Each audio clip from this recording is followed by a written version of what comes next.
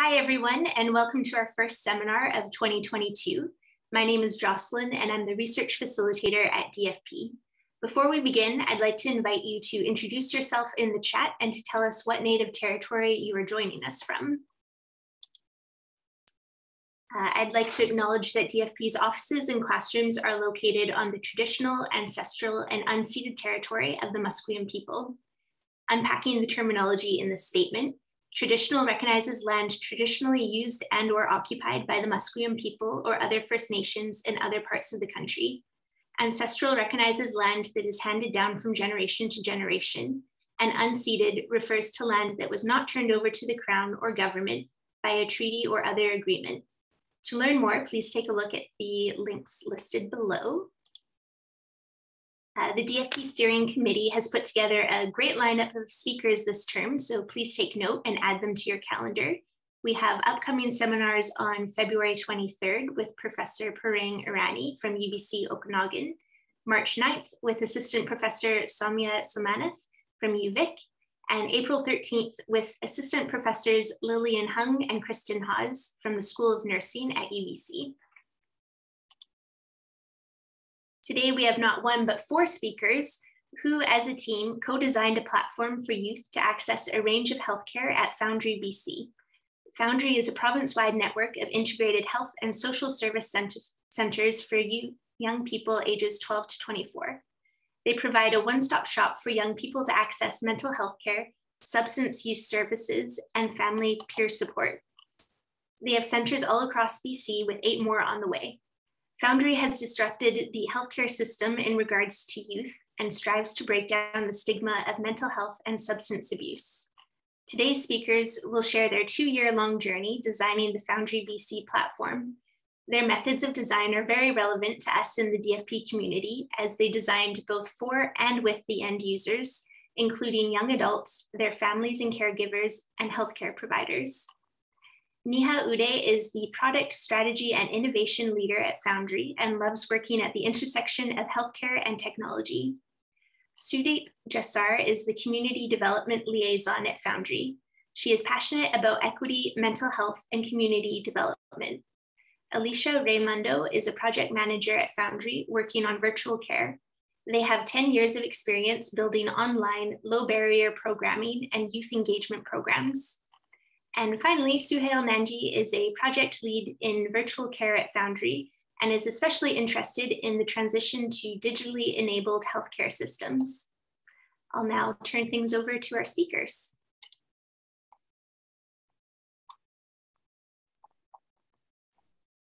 Thank you so much, Jocelyn. Um, I'm Sukdeep and I will introduce ourselves as we go.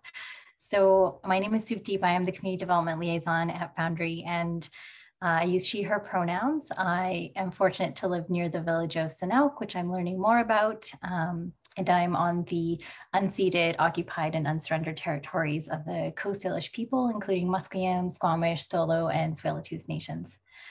I, uh, I like to start off with just a more grounded acknowledgement in my own personal ancestry. So I'm a second generation settler. I was raised in a family that settled in colonized lands for orcharding use. At the same time, I was raised to respect nature and lived a very seasonal lifestyle in harmony with plant cycles. I uh, was raised in the, the land of the Syilx-speaking nations. Moving to the next slide we will be doing a brief introduction to Foundry. So thank you so much for the introduction, Jocelyn. I don't know how much more I have to do. Um, we'll do an overview of our journey into the virtual app, as well as uh, discussions on the, the structures, the partnerships, and the procedures that have followed the, the design and training. Um, and we will have a demo, and then we'll, we'll leave quite a bit of room for discussion and questions. That's our goal today. Next. So as Jocelyn mentioned, our vision is to really transform access to health and social services for youth and families across the province. We, with virtual, that's really been able to transform our, our reach. So we can reach communities in, we can reach youth in multiple communities. Um, our mission is to support youth in, li in living a very good life. We started the process in 2014, 2015 with our first round of funding. Um, We highly believe that every door is the right door in Foundry rather than the wrong door and ushering people, youth into multiple places. When we launched, our focus was transforming access, um, but we've also now been highly focused on including equity in how we're transforming access to services. And we're committed to that in both our service provision and in our culture, in our, our across our network and within our own organization. We are committed to learning and evolving alongside our youth. That's one, one thing that we value quite deeply. Yeah, sorry, Neha, go ahead. so as Jocelyn mentioned, we have eight centers across the province. You can see where we are located currently. The green dots are the currently open centers and the orange are coming soon. I hope they are up to date. Um, it is helpful to understand that we are 11 centers um, and that we have the eight coming in the, in the coming year. Sorry, we have 11 open centers. Our local communities have local youth advisory committees and family caregiver advisory committees that are all involved in varying levels of decision making, advocacy, and engagement. We also have provincial advisory committees from youth and caregiver perspectives um, that guide our work at central office. Within Foundry Centers, we offer multiple services in one location we offer as, as here these integrated services in peer support, social services, including employment services, substance use support. And just a note that we use the language substance use rather than substance abuse uh, at Foundry, uh, mental health supports and physical health support. We optimize resources by integrating services and bringing together core services and supports. We offer, um, sorry, our goal is to reach young people earlier before their health concerns have severe impact on their health and well-being. Um, we provide the right support for what each young person needs when they need it. So that's really critical to our success and that uh, people need different levels of service and care at different points in their life and their journey. We are a team of care and service providers. So you'll notice that all of these five pillars are surrounding youth in the center, and we really focus on integrating our communication uh, channels and our information across the sectors. Um, and we really strive to ensure that our services meet the changing needs of young people across our province. So we recognize that that does change quite quickly in this world that we live in.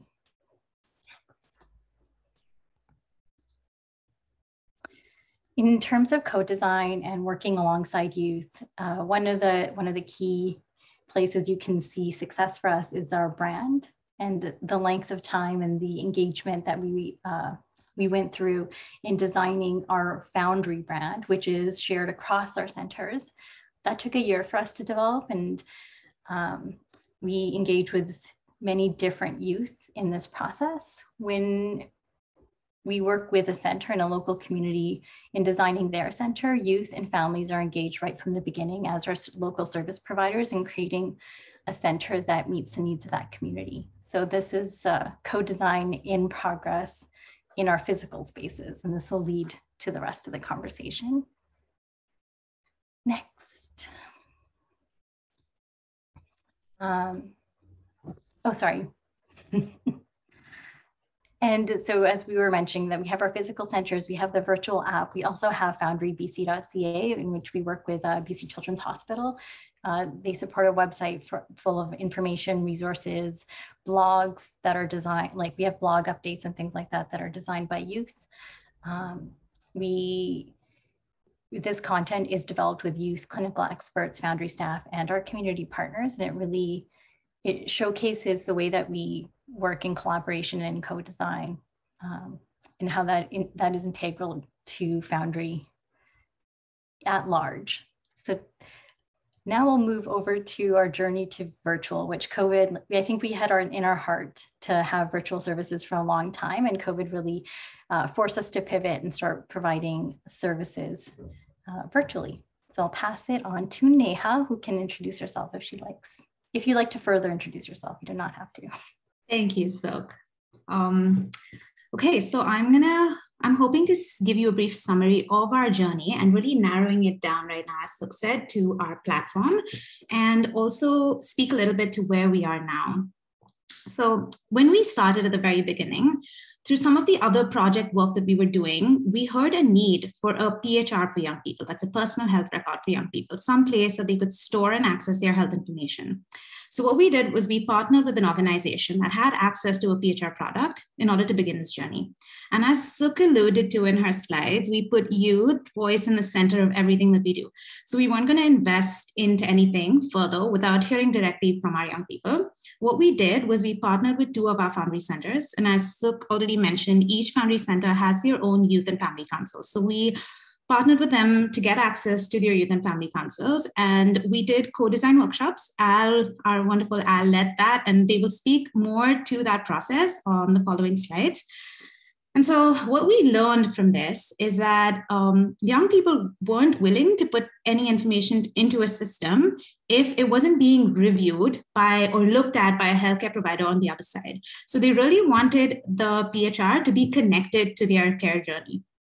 So, an example that I can give you is when we were working with them, we heard that during a session or as an outcome to the sessions that they have, they are as Foundry service providers, they have some goals or action items that they come up with. Now, this is written on paper and handed over to the young person and we know that there are issues with this right? So the paper gets lost or there's no way for them to track their progress and say like what's working for them and what's not. So this this is just one example of some of the things that came up. And then the other thing that we heard is they were looking for easier ways to connect with their healthcare providers. So we did hear about young people from rural remote communities having to ferry into their nearest family center in order to access services or uh, another example is some young people switch between locations, right? Either like it's for school, they're living in one area for school and then they go back to their hometown for holidays, or they live with their mom during school days and then they live with their dad during vacation time. So there was no way to continuously access uh, services at a Foundry Center during, during these transitions. And so this was high level what we heard. And we took these needs back to the organization that we partnered with. And we learned very soon that the PHR that they had developed or they had they had access to was more traditional in the sense it didn't allow for collaboration between a young person and a service provider and that it wouldn't be able to meet those needs so we had to we had there we decided to like not move forward with that partnership and then we did a whole bunch of research to see what what products may be out there that we could use that may be able to meet these needs. And again, to, to highlight, this was about two and a half years ago when the tech landscape was very different. With COVID, a lot has changed. And so at that point, we didn't find anything that would actually meet these needs. So we made a very bold decision. And I say bold because we're not a development house, right? So we made this bold decision to build a product from scratch. And um, so our partners in this project are the Ministry of Health. They were the ones who were funding this project and they were on board, I think they also realized this there was nothing that could meet this, this need, and, and hence we began our journey. And um, and so I kind of covered like our pivot. So our we had to pivot, we had to change our goal, and because uh, we realized that what we needed to build was more than just a PHR. We needed to understand how we could make services more easily accessible and how we can also improve the in-person experience with this platform that we were building. And um, what happened next is COVID hit, and we had to make some quick decisions. So young people could no longer access in person services the way that they did. And at this point, they needed it more than ever before. So, what we did at this point is we set up a Foundry virtual team of service providers that came together from across the province. And what we decided to do was build this platform to start with for this team of service providers. So they, they could use this platform to provide services to young people. And, um, and um, that's kind of where we are at now. And some next steps is we want to take this, obviously, that's where we started. We want to put this back in the hands of our centers so they're able to utilize this platform as well. And then we have an ever growing backlog with a whole bunch of requirements and requests that have come from our service providers, from our young people that we want to continue to build and develop going to move on to the next slide. So right now, our platform has really, um, for our young people to interact, our young people can interact with our platform via the iOS app. Uh, there's an Android app as well. And for those that don't have a smartphone, they can interact with it using a web app. And then our service providers interact with the platform through a clinical or a staff portal, and that is web-based. So this is the big picture right now, right? So we have, as I mentioned, um, a virtual team, we're called Foundry Virtual BC, that enables young people to access services between uh, young people between the ages of 12 to 24 to access um, services virtually. So basically what we did is we took a Foundry Center and we made it available online. And this improves access and reduces barriers for young people who may not have access to these services in their community, who are unable to access in-person services for a lot of reasons and um, or who just may be comfortable accessing services in person um, due to covid and then um, also provides it, it, it also opens up an avenue for young people who prefer support online rather than in person that's just a quick like visual so we do provide um, drop-in counseling one one-to-one peer support as well as groups and um, I just wanted to highlight too that the entire process was very agile. So we didn't develop all of this all at once. So it was it was not just the platform but also the program. So we probably we first introduced booked counseling, then we introduced our drop-in model, then we introduced groups. So it was very iterative, and so and we got continuous feedback from our young people as we built out each of these phases. And I'm going to pass it on now to Al speak to the co-design. I'm skipping those slides in the middle because I realized that I went over a little bit. Okay, over to you, Al. Yeah, thank you. Thank you so much, Neha. So um, I'm not going to speak to this slide, so you can just go to the next one.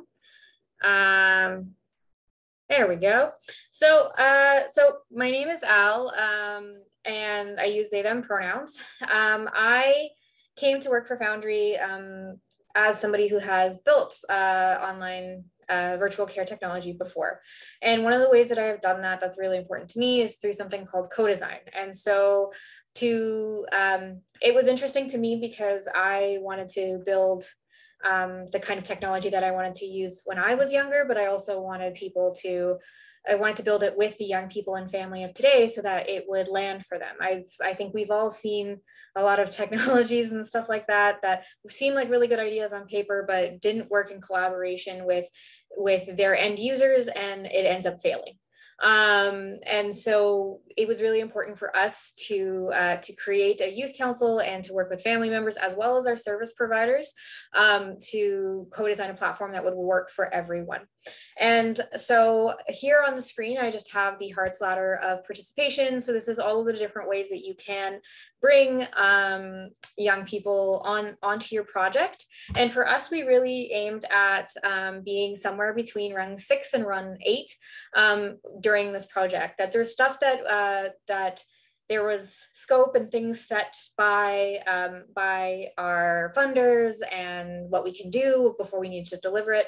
So it, it wouldn't be like a true true co-design thing, but that we did we did our best to co-design everything that we could. Um, and how we ended up starting this is we put a application out to the province um, asking for young people who wanted to help us uh, design the this platform, which consists of two, uh, two apps, an iOS app and an Android app, a web platform and a clinical portal.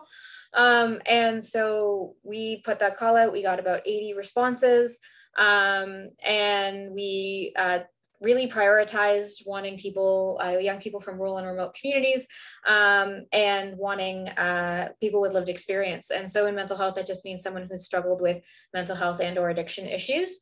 Um, and, uh, and so that, that they would be somebody who would want to use this platform.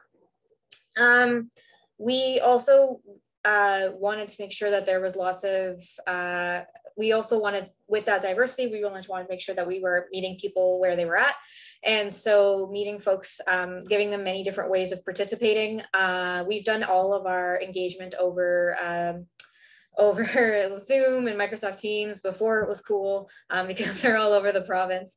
Um, and so being able to allow people to turn on their camera or not if they want, could contribute over chat, contribute over email and kind of meet them where they're at. We also, it's also incredibly important for us um, to compensate young people and families who are helping co-design our platforms. Um, and we do that because without that compensation piece, um, it, it isn't co-design um, because it, uh, the service providers and the people like me and Neha are being paid to do this work. And there's just a big difference between what about the youth volunteering their time and other folks not and so that power imbalance becomes it becomes really hard to do true co-design at that point. Um, and so uh, we from from once we had all of these amazing people on our youngest young person was 12 years old our oldest uh, young person which is a funny statement it was uh, 24 um, and we from that point on we just started uh, talking to them about what they wanted this platform to be. And um, it, we got them to work with our uh, app designers. They drafted out what they wanted certain features to look like.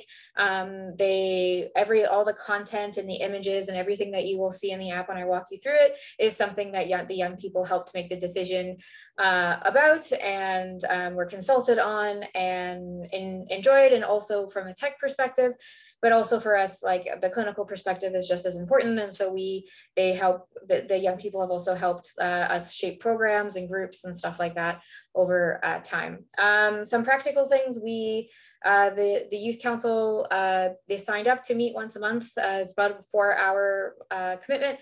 Um, but it's they also are super open to meet more than that or less than that as the work ebbs and flows. You're not i don't always have stuff for them to look at and do. Um, and uh, and yeah, and we we have we, we will keep the youth council going for a long time for me it's really important that we brought them on before there was any code written um, and before like uh, and where they could you know tell us to change our mind about things there's been decisions that um, other people don't like uh, that other people have questioned me on that I was just like, hey, I'm just listening to what the young people want and and giving them that. One of the things, and I'll show the feature later, but we have a feature called Inbox that allows asynchronous messaging between service providers and their and their young people and families. And um, the young people had asked that they don't see read receipts or typing indicators about their service provider because they don't want to be left on read by a service provider. So, and I had to defend that decision like 20 million times, but, uh, but it is a, it's something that um, you may not be able to guess that that would be what the requirement would be until you actually talk to them. Um, yeah, we, we also, uh, our youth council is, like I said, rural and remote, but it's also about 50% indigenous, um, just really wanting to make sure that that perspective uh, was represented. Um, the other thing is that uh, true co-design takes time and effort and, and you have to make space in somebody's role to be able to do it well um, and be able to do the translation in a tech project anyway between um, what the young people are telling me uh, to what we tell the developers and then also for what the young people are telling me to how I explain it to our leadership um, and just being able to uh, understand everybody involved and translate as need be uh, to everybody involved. Um, I want to quickly just read what's on the screen here, which is um, uh, a quote from one of our young people, um, a young person by the name of Sydney. And it just says, being part of the uh, youth advisory committee at Foundry has been an unforgettable experience. It's meant a lot to me because I have personal struggles with mental illness and building our Foundry virtual positive has positively impacted me and my mental health by giving me a sense of purpose. I feel so lucky to be part of this process and been given an opportunity to speak up for what's something that's important to me.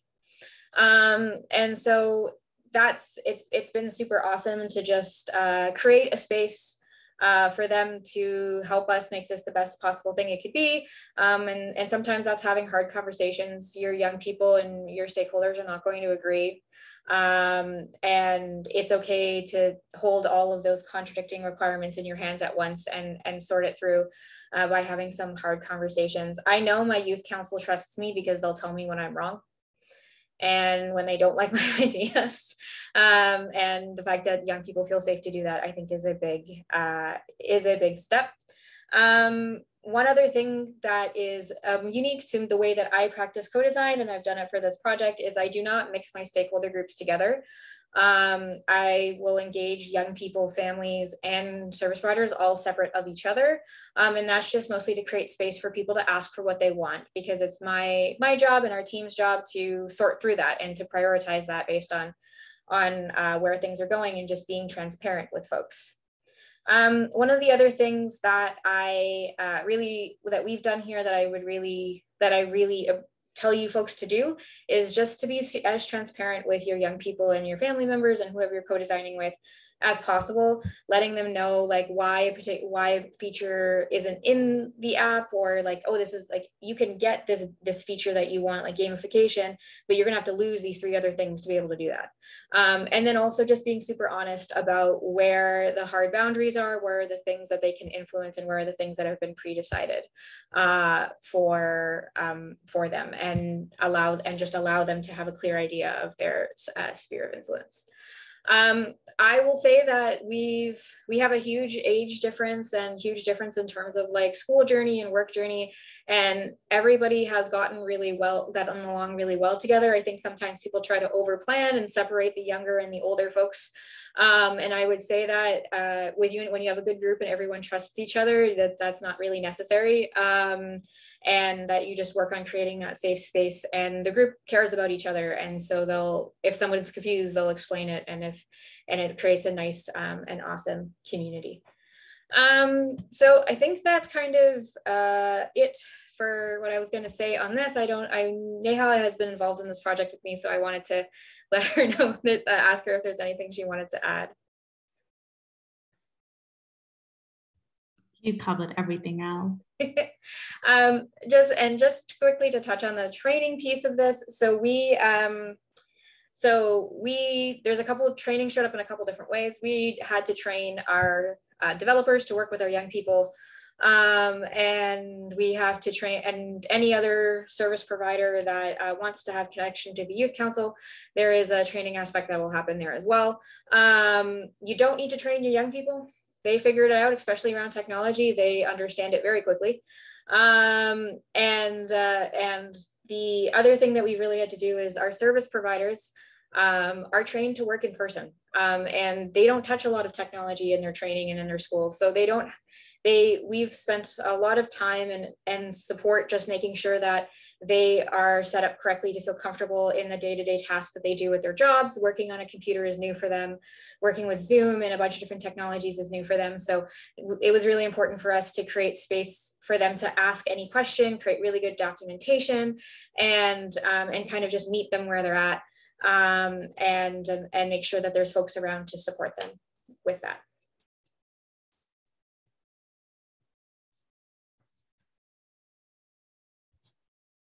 that is kind of it for me. Did we want to move in? I don't know if we have a slide for the demo, but let me know where the right place to do that is, folks.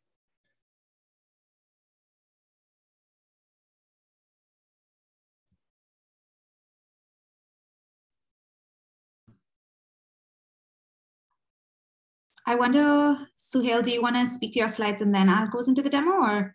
Yeah, that makes sense. Let's do that.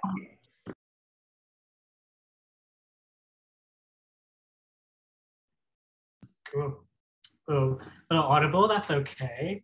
Um, do you want to switch slides, Hannah?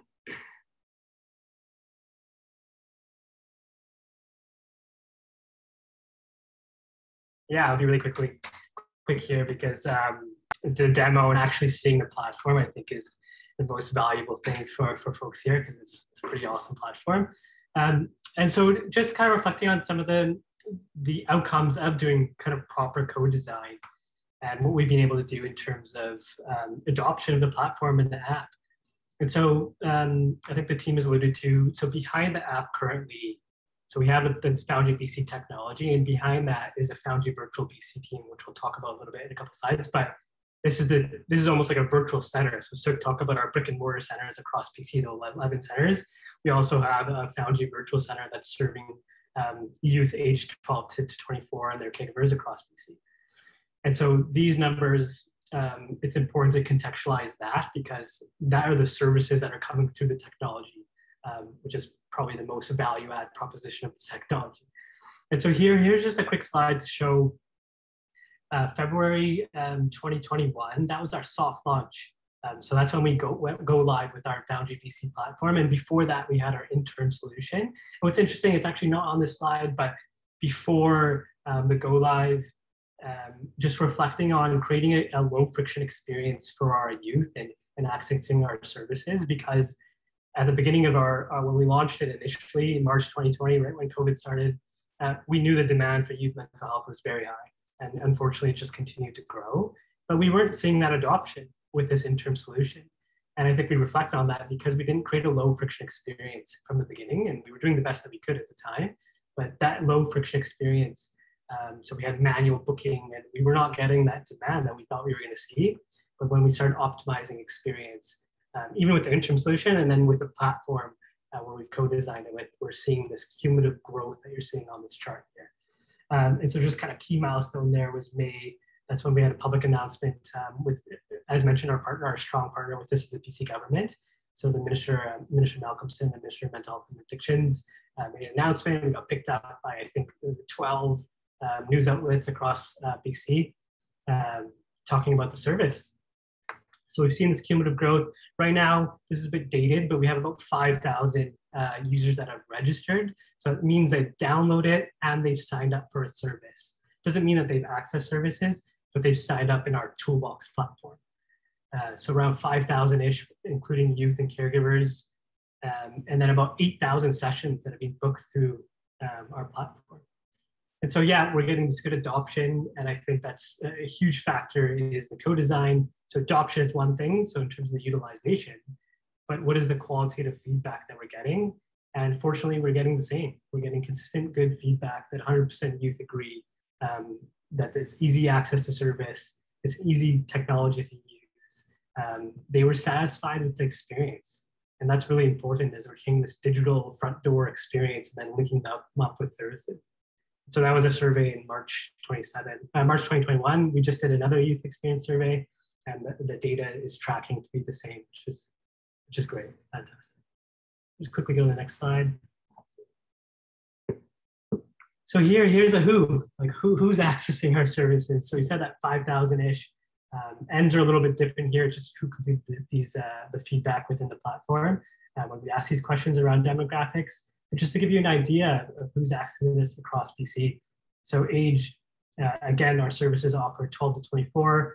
So we're seeing 54% are 19 to 24 year olds, 28% 16 to 18, and 12 to 15 year olds with 18%. So we have a bit of work to do there in terms of building a little bit more awareness for the young folks. Um, we certainly know that they need it. And um, some strategies that we're looking at within that Foundry virtual uh, service kind of project team is uh, certainly getting in schools and, and really communicating um, that this service is available and free to, to all youth uh, across BC that fit within that age range. And then just moving counterclockwise here, sexual orientation, we're, we're, we're I would say proud in terms of the diversity that we're, we're seeing within sexual orientation, and that's being intentional. Um, so we have, uh, Al talked about that we're co-designing our services with our, our, our, service providers and our youth as well. And so um, we're seeing that um, 40, only 47% identify as heterosexual and more than 50% don't identify as heterosexual um, for the youth that are accessing our services and in part because of the service that we provide. And so a lot of this, we have youth-led groups um, like Queer Cafe, um, and we have strong philosophies that these groups that are really highly engaged and reaching rural remote communities of populations that are led by youth that identify as queer as well. And so we're giving this authentic experience um, through our services and through our platform that way. Um, I could speak a lot about that because I'm really passionate about the data about but we have some um, time limits. But if you have any questions, looking for them after. Um, and just going down to ethnic cultural background, again, this is across BC. So this is an aggregate of uh, the, the youth that are accessing our services across BC. Um, what's interesting, if you deep dive into this data, for example, interior health, um, the youth that identifies Indigenous, that's actually 18%.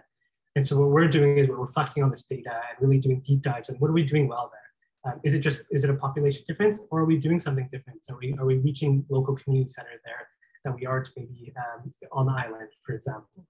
Um, so some work to do there in terms of diversifying uh, our, our ethnic and cultural background with the team.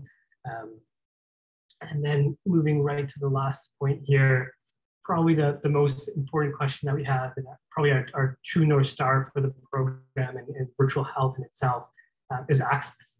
And so this is a really meaningful question that we're asking.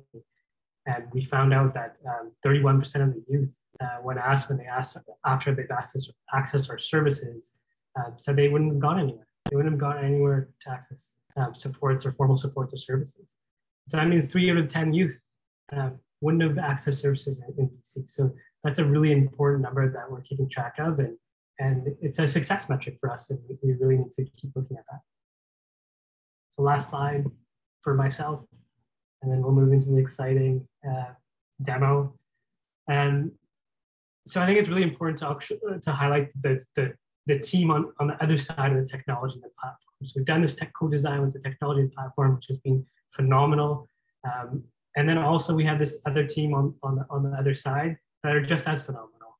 Um, and they've really provide a lot of feedback in the technology.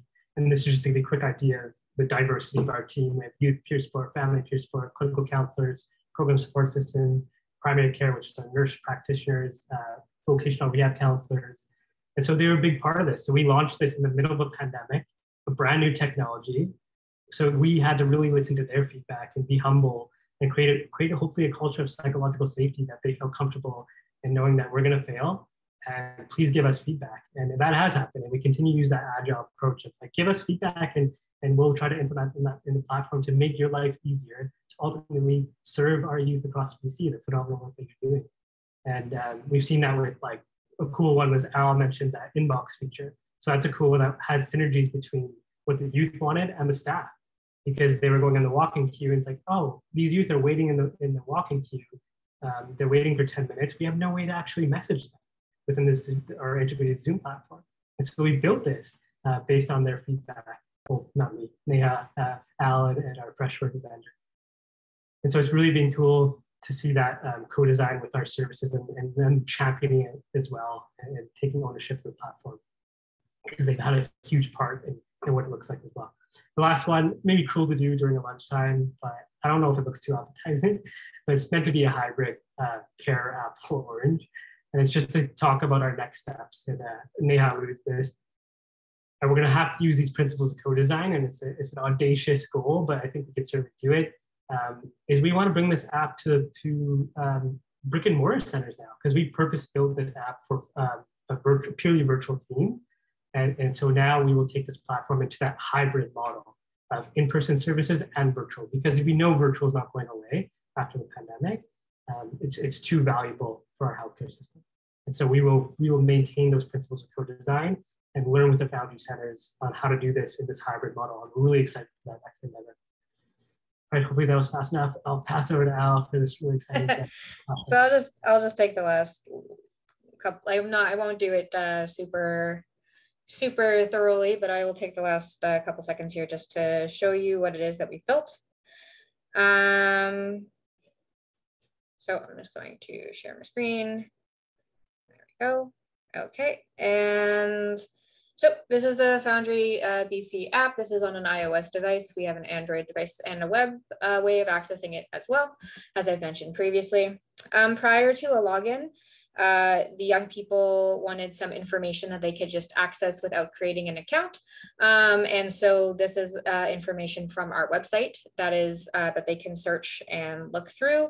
Um, and this is handy because as our website team updates our website, we are able to, uh, this will just update automatically.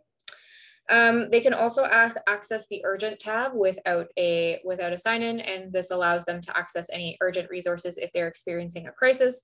Um, and uh, all of this is uh, like uh, hyperlinked, so you can just click and call um, into the crisis resources um, from here. Um, the the rest of our features require requires a sign-in. Um, so I will sign in and do that. Um, you'll notice now that on what we call the Foundry tab, which is the home page, there's now this little cloud download icon. So um, young people let us know that they don't always, uh, they usually have smartphones, they might be old, but they don't always have data plans. And so this is to allow them to uh, save stuff for offline viewing um, and be able to read through some articles as they're walking to a Foundry center or um, uh, chilling outside. And so that's uh, that was one something that's changed here. Now the um, Connect tab has opened up. Uh, so this is all of the different ways they can connect with a service provider. Um, and so drop-in is similar to like walk-in at your primary care, like a, uh, at your doctor, they can see a counselor or a peer supporter that day. Um, scheduled appointment, we allow our, our young people to schedule directly into the uh, calendars of our service providers um, for counseling and peer support. And we did that because young people told us that there was that the phone call and making booking really difficult was too big of a barrier and they just weren't going to engage that way. Um, and so we've built it so that they can book into the calendars of the service providers. Um, they can sign up for a group, uh, view their schedule, and look at the inbox feature. So um, I have planted a, uh, a uh, sample counseling appointment here. So if I click on it, um, I'm able to launch the meeting uh, from my phone. Um, and it will pop me into a waiting room. Um, we can't start more than one Zoom instance at a time, so I can't put you in here, but basically this is a uh, a API with Zoom, and um, and the young person can choose either a video appointment where they just keep their video on, audio where they turn their video off and just talk, or chat where they disconnect the audio, disconnect the video, and just chat. Um, and that's the ways that they uh, can connect in. The service provider can launch this from the clinical portal and uh, let the young person into the session. Um, and you're also able to call into sessions um, if you are in a place where you don't have the greatest of Wi-Fi, uh, we have built this app to be as light as possible. That's something else that we've heard, especially with a lot of young people in rural and remote communities, that their Wi-Fi and their data isn't the greatest, even if they have it. So um, having something that is emphasized and taking up as least space on their phone as possible, as well as the light, at least amount of resources to be able to use it well. Um, so from here, you'll also see the inbox. So inbox is a functionality. Uh, we noticed that a lot of our young people, um, when service providers try to get in touch with them over email or and I mean, this is not a surprise to anyone, call anybody. they were having not a lot of success uh, being able to connect. So we created this asynchronous messaging system that allows service providers to open conversations with young people. Um, young people cannot open conversations with service providers and the service providers are kind of in control of the conversation. They can close them when they want to, uh, open them when they want to, and um, and see that additional information, like explained earlier, uh, about when the young person is has read their message. So this is what I've sent sent from my service provider account. Uh, and once and once the service provider and the youth have had their conversation, the service provider can close this. The youth will be able to view it for an hour, um, and then the conversation will disappear. Um, and uh, one of the features that is really exciting to a lot of folks is a feature called My Story. Um, what this is, is young people and family members have told us that they're really frustrated about having to retell their story every time they see a new service provider and that it's traumatizing for them. So this is a place where they can write their story in their own words um, and upload a picture and it'll be shared with the service providers ahead of the appointment. Um, we made it so that this the, the character limits on here is like about five, like it would take no less than five minutes, no more than five minutes to read so that you this we can the service providers can read it in a pre-buffer time we give them ahead of their appointments to be able to look at this kind of stuff and just cut down on having to retell your story. Um, and you can write a, a bunch of stories um, and then whatever one you share and you press this little share icon will pop up at the top and uh, you will and that will be the one that the service provider will see ahead of the session. Um, this is this is something that it's been really cool to watch people pick up and use. Um, one of the things that's really awesome uh, for me is just seeing young people using this app in the places that they feel safe. Um, it could be that they're at home in their pajamas. Um, it could be that they're at the beach. It could be that they're on a walk. We've kind of seen it all. um, and I think it's really awesome uh, that with thanks to the collaboration we've done with young people and families and service providers that this app is something they feel comfortable using where they feel safe. Um, and so, yeah, that's it. That's my my quick uh, demo. There's a lot more complicated features on the service provider side. I'm not going to get into it right now, but uh, but that's uh, the basics of what this app does.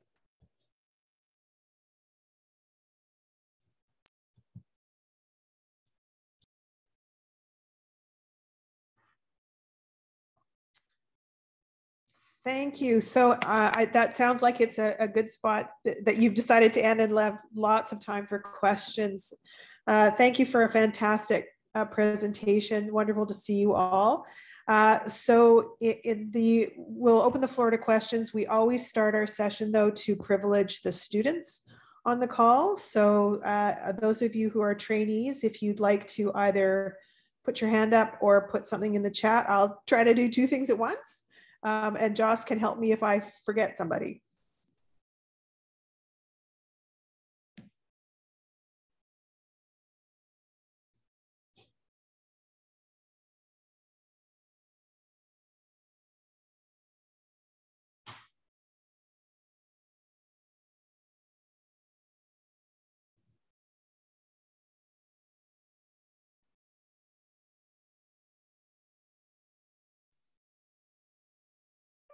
Okay, so I've I've given, I hope, a sufficient amount of time. Oh, and I see a hand up from Sky, who is not a trainee, but a colleague of mine.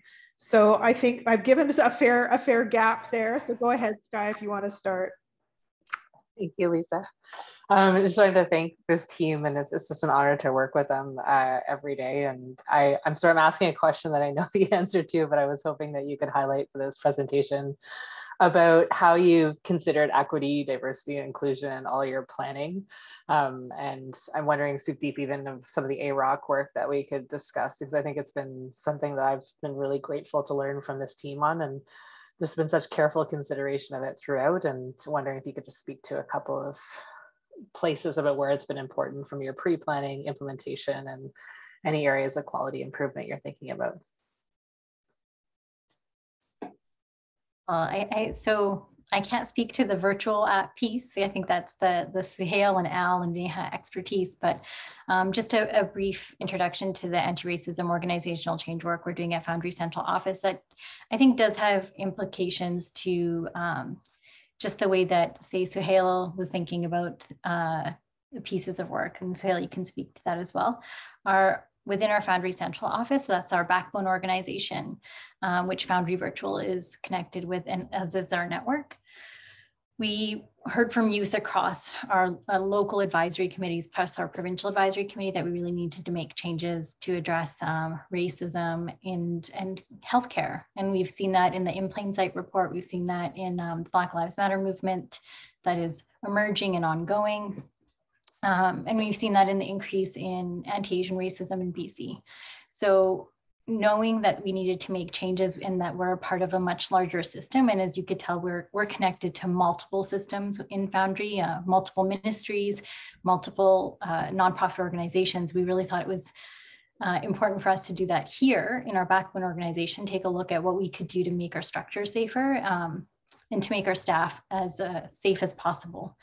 And that I think had some implications, but I wouldn't take too much credit because Al uh, themselves is an incredible individual who has been working in equity, diversity, inclusion, I would say, for the majority of their career, if not prior to. So, Al, if you want to respond to how the engagement process was like a little bit more.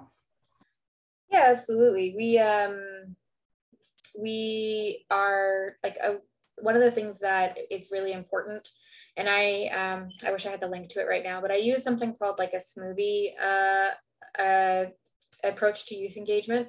Um, and what that is is the ability after every kind of meeting and engagement to ask people like to be constantly out being out or agile and iterating on it and asking people what's working really well what's not working well.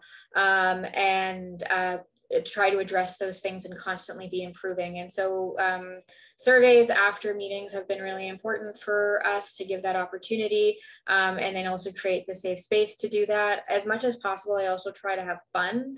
Um, so I think that all my surveys, there's a question at the end that's like, tell me a bad joke. And people have, or like, tell me whatever's on your mind. And I've read anonymous rants and gotten some really bad dad jokes and it's great.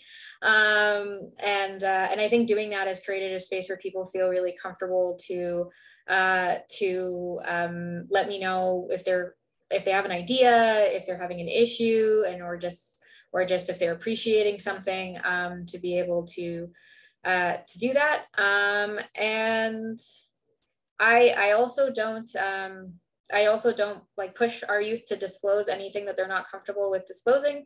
Um, and so like uh, so that I just kind of create the space for them. And if they want to show up and say that they're a service user, then they can do that. If they want to, if they don't want to say anything, then they don't have to. Um, and uh, and yeah, that's I think the biggest thing is just constantly like getting feedback and iterating on it and um, creating constantly creating that safe space for people to be vulnerable um, with you. The other thing that's really important to know about uh, youth engagement and family engagements is that sometimes uh, good hellos and good goodbyes are equally important. And sometimes people are going to, for whatever's going on in their own life, um, want to say goodbye uh, to uh, being involved in something. And um, it's important to you know open yourself up to feedback if there is any but just um, you know give them give them a good goodbye um, and and let them go on their way uh, young people are transient and they're going to change like we've we've had we've lost people we've gained people and um, and it's okay and just for that to happen um, I do, just since I'm talking, um, data and privacy is really important to our young people. They've asked us a bunch of questions about it being secure and safe and whatever they're doing in schools to teach people about data privacy is working. Because uh, we, we definitely got some questions, even from our youngest youth council members around what we were doing to make sure that their information was safe and secure. Um, and so that, that's something that really matters um, to them and is something that they pay attention to and, and care about. Great, thank you. So there were a couple of other questions before that one. Um, I'll go back and get those. So um, Heather asked um, that you'd you'd gotten survey responses from the youth, but what has been the feedback from service providers? Um, our service providers uh, are like we've gotten a lot of really positive feedback. We've also gotten a lot of like asks for um, for things to change on the app, and um, and we will always take that in. And uh, depending on the severity and how urgent they see they see it is, we will uh, we will prioritize it based on that. Um, and but they uh, they have very close to a single sign-on experience now, um, and they really enjoy that. And they really enjoy being able to like using the Zoom platform and the information that they're able to see. Um, and yeah i think um, i think it's always the service providers are used to having the most privilege in this space. So i think it's always just a learning around um, around realizing that like their perspective is important but it's not more important um, than the young person and families. And so that's been i think a learn a back and forth that i've had with with our team. Yeah i'll just add there to um, lisa is um, it was really difficult, like launching a whole new platform in the middle of a pandemic. And I think what we did and what Al did is um, when I was the operations lead for the team is we had team meetings every Tuesday and we created cadence, especially before we were just before we were launching and Friday meetings actually. So almost twice a week where we'd create space. If they had any questions or feedback, we launch a new feature. Do you have questions or feedback? And then just creating a, a full transparency with the team and, and hey, like we would like to prioritize this and if we're not going to prioritize it or it's not going to make the backlog and we're going to prioritize something else, we need to be transparent on why it didn't make it and why this item was prioritized before that. Um, so I think those philosophies of transparency were really important. And I think they just appreciated that, like having a little bit of um, um, decisions on, on how things were being developed as well is really important. Also, going to add to what Suhail said, I think the other thing is uh, in terms of support, right? Because again, our young people will learn the platform really fast. But with our service providers, they don't, that's not their, they aren't, they aren't trained in using technology. So I think in the beginning, when we launched, we had our program support assistants that's our front desk staff really supporting them on the platform. And then that wasn't enough because it was it was almost a full-time job and they couldn't it's not something somebody can do off as a side.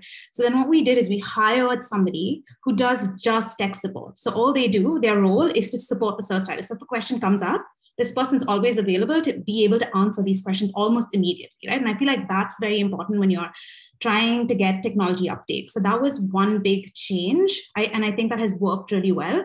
And the other piece is when we onboard our service providers, apart from the training, because there's so many platforms we use. So apart from that training on how to use the platform, we also introduce this um, this one-on-one kind of demo. So you're like our tech support person pretends to be a young person and the service provider does a demo session with them even before they go in and start providing services. And that's really helped to build confidence as well. And these are all things that we've learned as we've gone, right? So we hadn't we hadn't done this before. So it's all learning.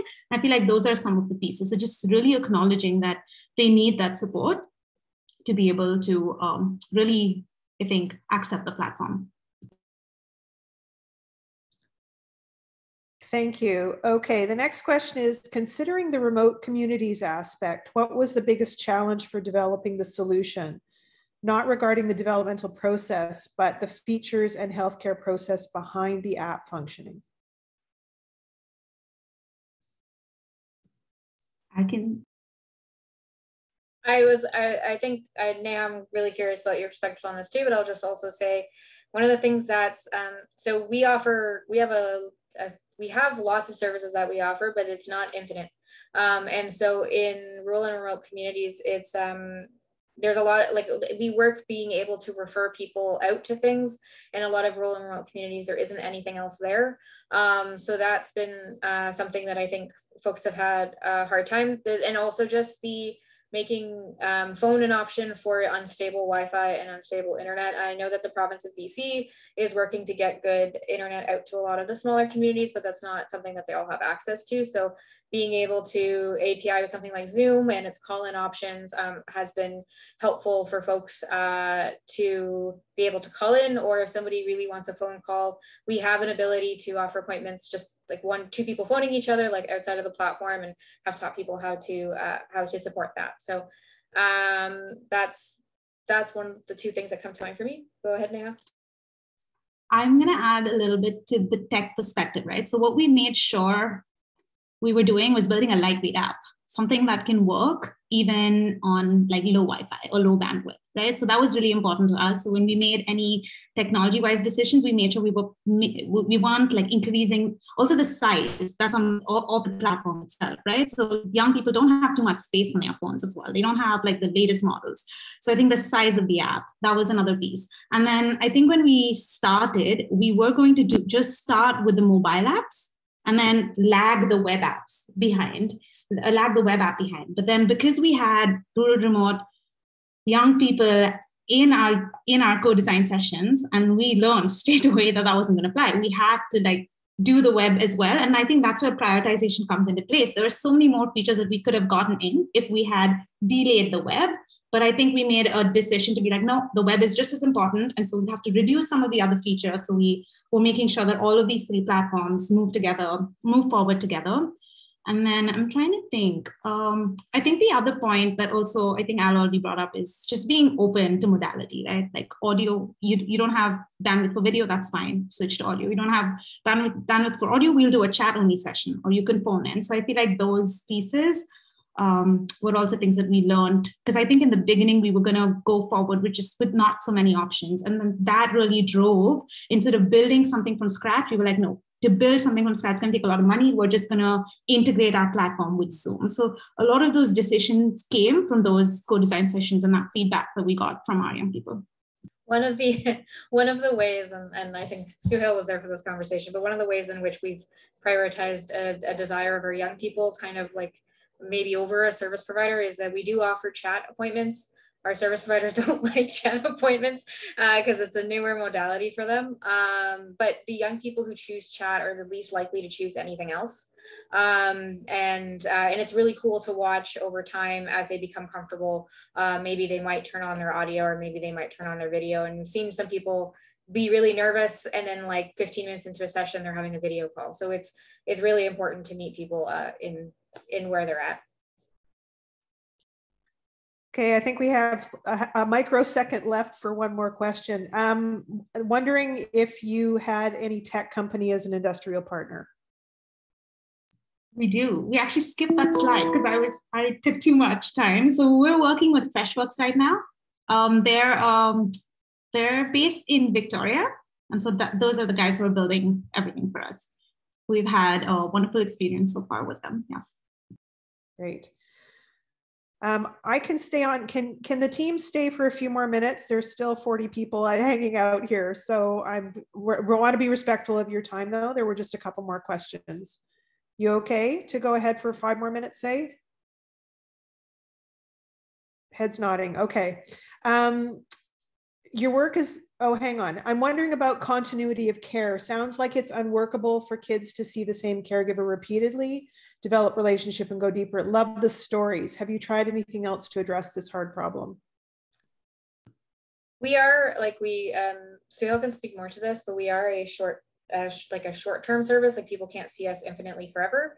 Um, but they do search um, they can't they do choose a service provider that they book with. So if there's somebody if they have a want to see a, a guy or if they have a particular uh, counselor that they just want to like wait and see if they can get in with that person they can do that. That's functionally available to them. Um, but it is but we we are short term so it's there is a limit on the amount of times they can see somebody. Uh, i don't know if you want to add anything Suhail. yeah that's a great question. I think um, there's two pieces that come to mind. There's the technology and then there's the people and partnership. And i think um, what we're realizing there's some uh, there's some technology uh, functionality that we can leverage to inform to um, further enhance the continuity of care because we have three elements of continuity of care in healthcare, which could be informational continuity, the relationship, um, and then some of the processes as well. And so just focusing on that informational continuity, say we have this Foundry BC platform and all the Foundry centers across BC and with the Foundry virtual BC team, and we have clients that are going through um, uh, different centers, we can certainly have some opportunities for informational continuity. And those transitions, and those warm transitions, um, ideally will be cleaner and warmer. Um, but let's say there's there's organizations and communities that, that are not using virtual and we're, we're transitioning to um, in-person services in a rural remote community.